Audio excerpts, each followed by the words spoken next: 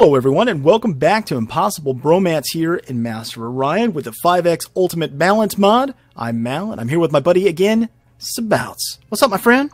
Well, I'm I'm uh, hopeful. I'm hopeful You're that hopeful? we're going to crush these squid people, which are just disgusting looking. Well, uh, I mean, again, I think we've talked about this before. We'll, we'll be hopeful for the first few episodes, and then if we start getting our faces crushed, the people will like hear it. They'll like, no, oh yeah, they're not Well- quite as confident.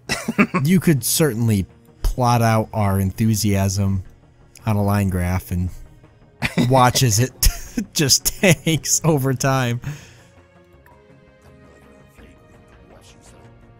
I'm on the next turn, by the way. Just Oh, are you okay? I was just looking at these. I was I was looking at these uh, creepy squid people. Yeah, and we still don't even know who the other race is. We're just hoping to God it's anybody but the Sakkra. Yeah, just not the Sakkra. Yeah, really, Anybody. because anybody but them because they are. Uh, I mean, yeah, that'll be face punch if it is them. It would be The Trilarians, ugly. The Trilarians are not all that great. So with the bonuses that they'll get from being on impossible difficulty, I think hopefully they'll be manageable. But like any of the ones that have a tendency to be like breakaway AIs, the Sakkra come to mind, the Silicoid come to mind as ones that can just break away. Psilon, are they any good? Uh, they well, it depends on what changes the AI made to their behavior, because they're sort of like the moderately aggressive ones. Um, but they, you know, their tech spirals so fast that it can really be ugly. So yeah, they can be a problem because they get to a point where they're so far ahead tech wise you like you know you can't make up the difference is the problem with them Oh, okay, okay. if you can get to them early though if you can get to them early and put them away early before that's that kind of before they ramp up so to speak then they're they're not that bad they're not that hard to control Okay.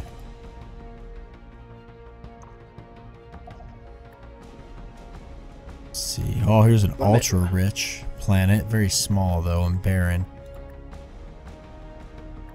baron what else is in the system with it I don't know yet. I'm still looking at the other planets. okay if there's something else in the system with it it might be worth it just found is that you that i just Oh. no it's not you what did i just find that planet I was going to take. who did The Trilarian. Oh, well, interestingly enough, you can build troop transports. So you could just go take it and say thanks for giving me the free colony. I mean, I don't know how aggressive you want to be, but I mean, Would that that's something be you, could, that's something you war? couldn't do. Yeah, you'd have to declare war, but you know, that's a hell of a lot of resources for them to put into that ship and then start that colony. That's the thing. The like I w we talked about in the first episode with this mod, with the 5x Ultimate Balance mod, the early game strats change a lot. You wouldn't even you wouldn't even have that option, right? Because you wouldn't have troop transport tech. Exactly. It's it's So it's it's, cool that you do, right? It's very tempting to do that. I I think that since we're doing this first let's play with this mod, and the thought process being that we're testing stuff, that screw being optimally. I, I think we say screw trying to do optimally what we would do to win against the really high end AI, and we just test as many things as we want. Yes. So if you want to be super aggressive, that's fine. If it gets us, if it ends up getting us killed, whatever. Let's. I mean, I think we just test all this stuff. I think that's the whole the whole fun of it, really. Yeah, I agree with you. Yeah, I definitely agree. Um, I, if I'm gonna do that, I'm gonna need a fleet and transports. Although I don't even have my second planet still kind of trying to kick into gear here. I'll get there. Yeah, I'm waiting for biology. That's a big thing for Here's me. an ultra rich. Uh, it's toxic. Mm. That's not so great. But it is ultra rich. But toxic. I've got this Yeah. ultra poor planet, but it does have Mm-hmm. gems. Eh. I wouldn't do an. I would not, unless it was a really awesome biome, I would not touch an ultra poor. Yeah. Because by the time it ramps up, it's just not going to be worth it. Yeah, makes sense. So was this? Is it Fovia? Is that the one they colonized? Um, I've got a barren planet that's abundant but dark quartz. I'm kind of That's not bad. limited on planets. So, Sabouts, was it this Fovia system? Was that the one that they colonized? Yes, that's the one they colonized. I was going to take the planet in there. I would I would take it from them because they only have two systems. That would really screw them over. I would take it. I would build some troop transports, maybe put one frigate or destroyer with it. They don't have any defenses. Okay, I agree. Yeah, let's do it.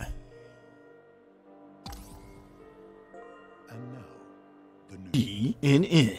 Ancient ruins discovered. Awesome. Yeah, I'm going to start rerouting a lot of my stuff right now to do that move. Research complete. The Combine has Good. a winner is you,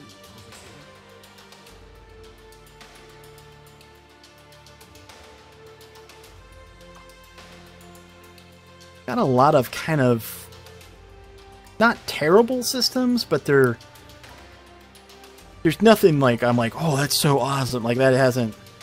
I got lucky with that first system right next to me, but so after that, not so much with the luck. Well, I'm having some bad luck trying to get this second planet started. I'm going to have to get a pop there. I'm going to have to build it to get a pop there. You have you have it established though, right? I do, yeah, but it, it's not growing because I can't get. I need to get another pop on it. Um, well, do the whole civil transport thing. Yeah, that's Just what I'm gonna one. do. Next That's what. I'm doing right now for that third colony I started. There Uh. Oh, it's the it's whatever however you want to pronounce it. The Gnolams. the It's gold. the it's the yeah it's the it's the commercially based empire, space traders. oh, that would explain why their economic victory threshold is insanely high compared to ours. So But we've actually not- got some pretty good opponents. Yeah, yeah, reasonable is what I would say. They're reasonable opponents for our first time with this on this difficulty level. Yes. That I'm optimistic about that. So neither of these are traditionally runaway AIs. And if you're not familiar with that term, folks, that means like a an AI who's the empire is so strong that on higher level difficulties they break away from the rest of the pack in terms of score and their size and scope, and then you never can catch up.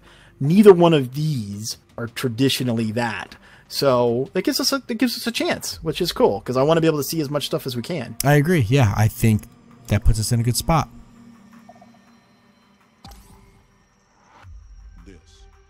So now uh, I think a lot of it's just going to be trying to s- trying to see how long we can last. Um, Right. If they do start to really go. Overall, And I'm glad. I, I'm glad now too that we opted not to do the pirates because it'll make the focus building up and going to war with these guys versus messing around with pirate bases. Yes, I agree with that.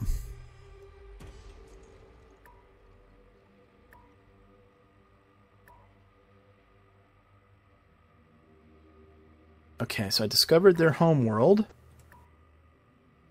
Oh, large ocean abundant, right next door to their home world. Really, Yeah, like that would certainly. p- Oh, with gold. So it's large ocean abundant with gold. wow. Oh, I'm so tempted to do that.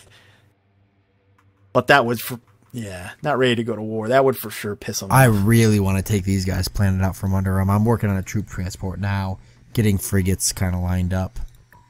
What you'll need is um planet. You'll need uh, you'll need two troop transports. Two troop transports and like a destroyer and or two frigates and you you will be able to do it. Now here's something interesting. They've got a colony ship right here. Do you have a combat vessel in the area? Do you have like something other than a scout in the area? No, just the scout right. Now. Oh, I got frigates kind of hanging out nearby.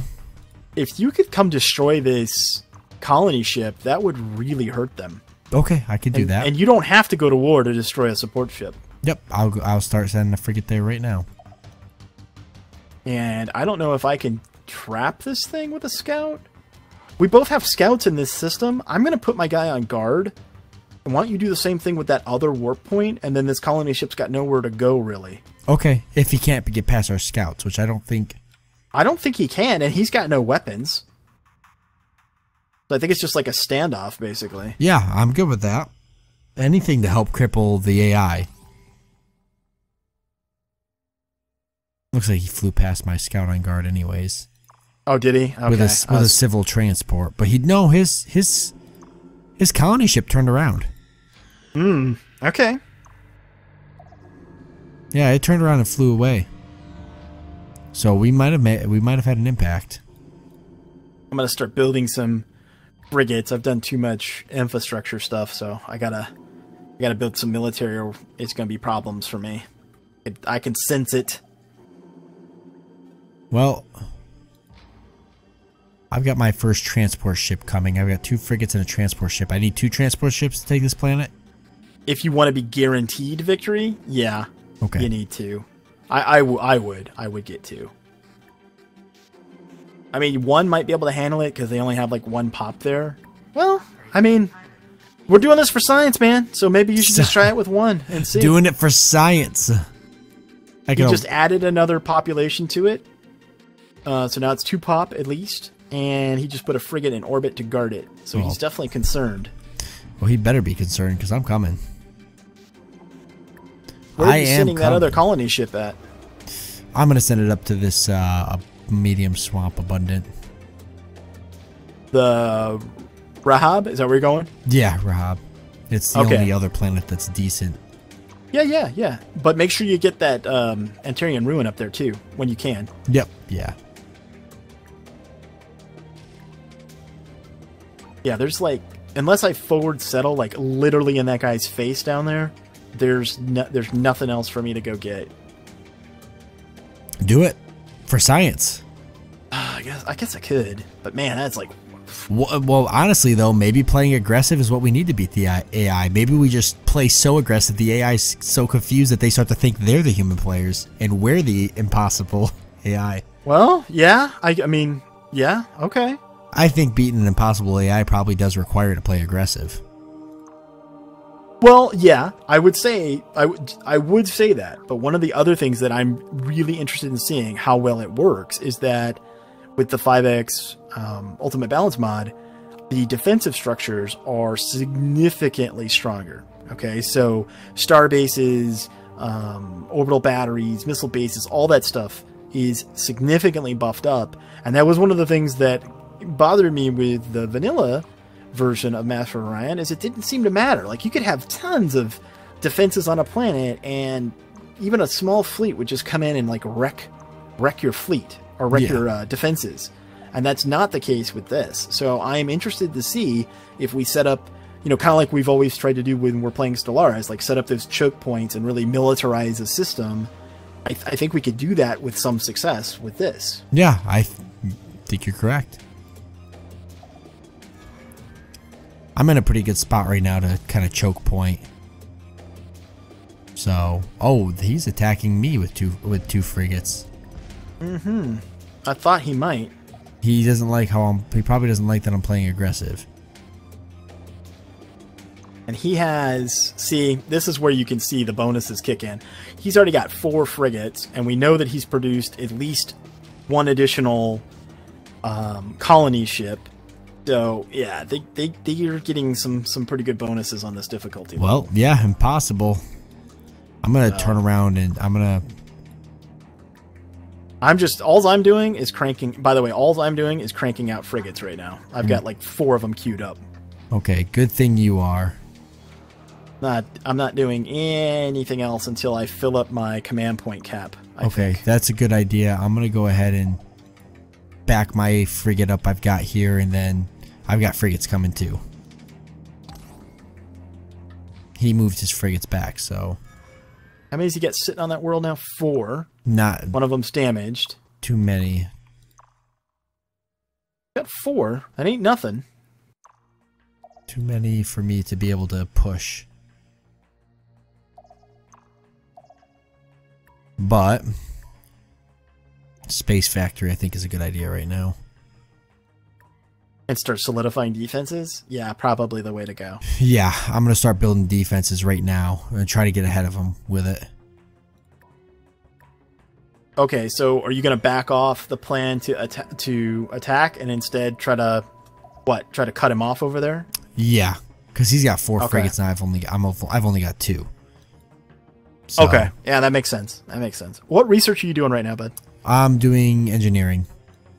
You're doing engineering to get destroyers. Yeah, Okay. I want to go for a quick destroyer. I want to try to build a couple, you know, one or two destroyers to try to push me, catapult me kind of in into the I gotcha. yeah into the conquest. I'm gonna do that as well then. Because how many? I'm keep tracking the path to victory because that's telling me where our enemies lie, kind of military wise. And I want to stay behind them. As long as we can stay behind them, ahead of them would be great too. But I don't think that's going to happen. But if we can stay behind them, that's going to make a big difference. The time graph. Uh, let's see. Let's see what army looks like. Uh, okay, so space pigs or space cows. Uh, they have, yeah, their man, their army's pretty high actually. Very high, like double us. Okay, so yeah, I yeah, I'm glad I didn't try to settle down there now because that would have just pissed them off and they would have been coming for blood. Yeah, yeah. Maybe we should play a little reserved. I just found We don't want a a suicide. Really, I just found a really good system with two good worlds in it, but it it's way the hell away from my main colonies.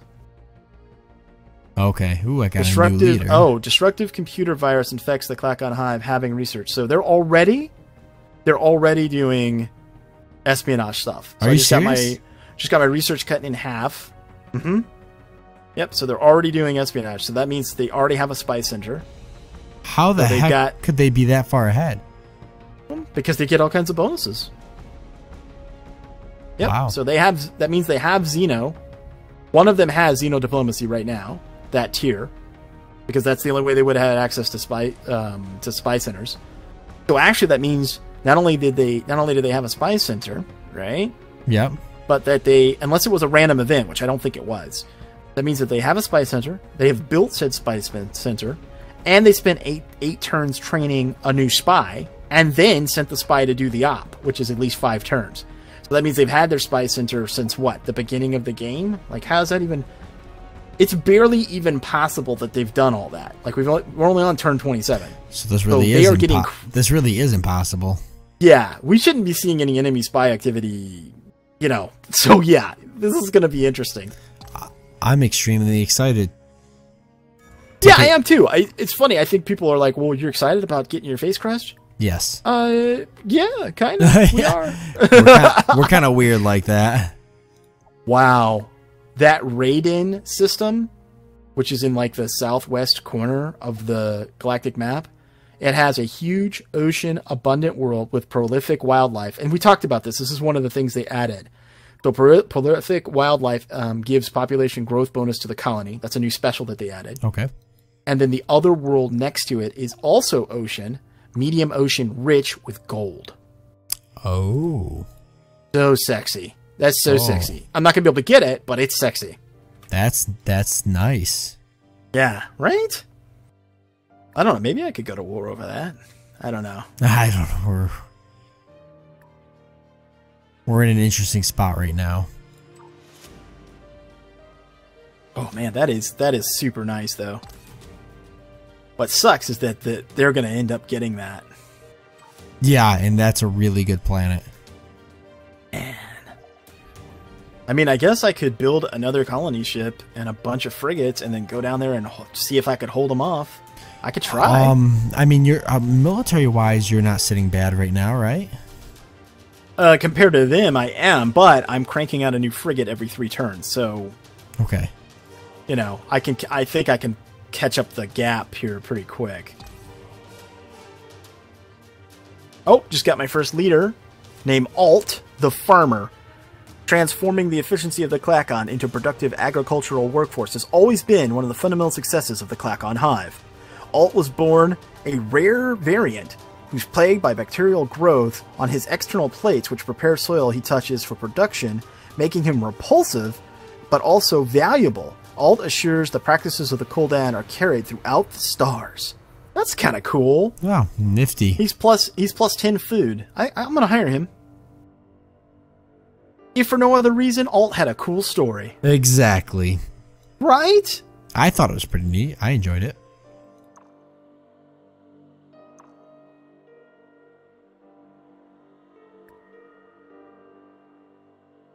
Built these troop transports thinking I was going to snipe that Okay. place. Third third third planet in that system, medium desert abundant with gold. Fourth planet in that system, medium volcanic rich. Oh, That system is that system's worth going to war over. I'm I'm gonna go to war over it. I think. if you think you're prepared, Oh, I'm not, but I think I'm just gonna do it anyway, just because reasons. Science. I yes for science. It's been my excuse. Actually, you know, I started that new um, XCOM 2 Long War 2 series recently, last couple of weeks. And um, I've been doing a lot of like strange soldier builds and sort of different things. And I was like, you know what? It's my first time playing Long War 2. I'm going to experiment. And maybe it's not going to be optimal, but it's going to be interesting. Yeah, and so far it's been really fun. Sometimes it's just about trying different things out. You might find a combination that works really well. Yeah, I accidentally found. Well, we're playing Master of Orion, so I won't go into it. But I, f- I found one yesterday that was like, "Hey, if I do this and this, that soldier can do this kind of cool stuff." And it wasn't something that I thought about before I tried it. No, So for us, I think this first series with this mod is the same thing, right? yeah, we're we're gonna learn a lot. I might actually.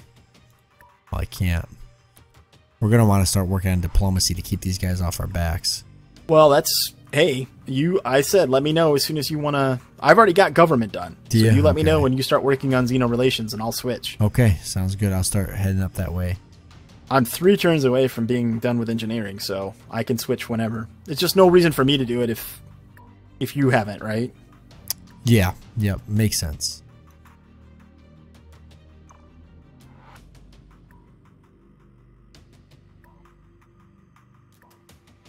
Gonna lose a frigate. You know what? Instead of you know what, I'll just delete it then. I'm going through spending my credits here and there because I think it's pretty important early game that I try to stay um, ahead because we're not going to stay is. ahead of the AI, but we got to try to stay behind them.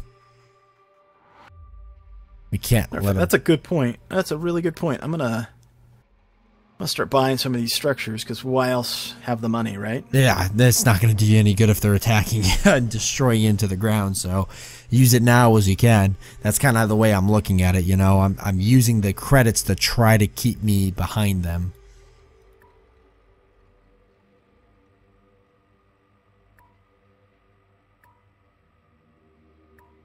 Going for early star bases for the command points for one, but but really more so that we're not sitting ducks because again the defenses are much better than they were before. So Yeah, I want to take advantage. actually gonna striking. Pull the frigate. Come do I lose? 10 credits. I lose 10 credits a turn for one guy striking. I'll let that guy strike. Like, you go for that, pal. Strike all you want. I want my money. Do all the striking you want.